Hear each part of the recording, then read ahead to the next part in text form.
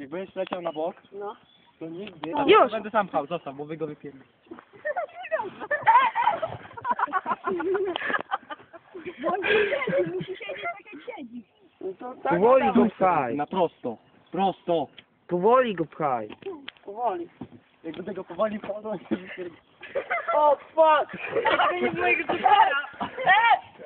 Matku! O, kur...